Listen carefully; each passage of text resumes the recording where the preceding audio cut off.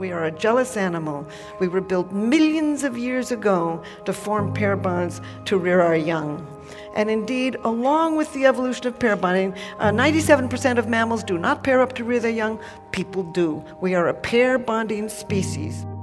But you're absolutely right. Sometimes what's going on is that the client is pursuing us because they want us to feel that what's going on inside of them is that they're scared or that they're lonely and they're not hearing enough from us. Affirm your otherness.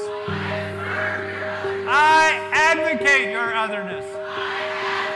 I adore your otherness. Who are we? We are wonderful and that is the truth. I have a question for you all. You ready? What's up with men? what is going on with men?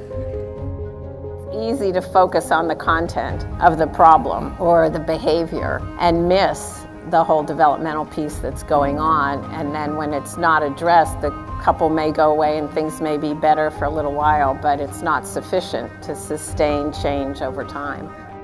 Saying what I don't want feels more powerful than saying what I do want. Can you see the difficulty in getting them to express proactive goals? The differences are amplified. This person says they want a lot, they can't want that much, they pick this guy. They just want a little more. A little more, but don't be fooled. They're cut from the same cloth.